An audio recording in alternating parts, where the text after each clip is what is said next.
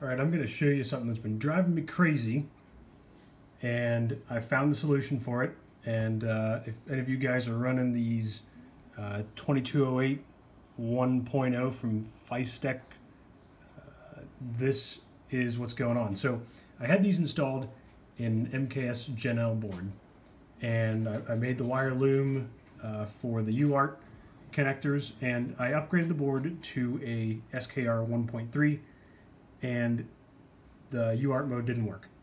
Um, they would still move the move the motors, but could not communicate. M122 uh, bad response every time. So I got to digging into the schematics here and looking at where these pins are.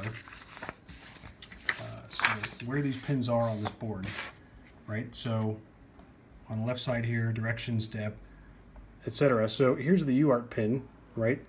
Well, the SKR board, uh, it's not where the UART pin is. So if you look at it, right, so your, your jumper here, uh, it's just an example for the X motor, but you know, enable M1, M2, M3 is where that is, right? Well, consult the pinout. That's right here. So what I went ahead and did is I just cut underneath,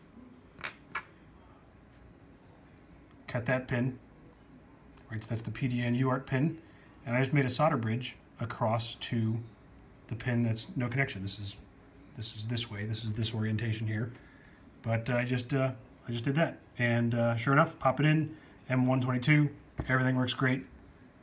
Highly recommend, check it out. Uh, ask questions in the comments. Hopefully this helps you guys.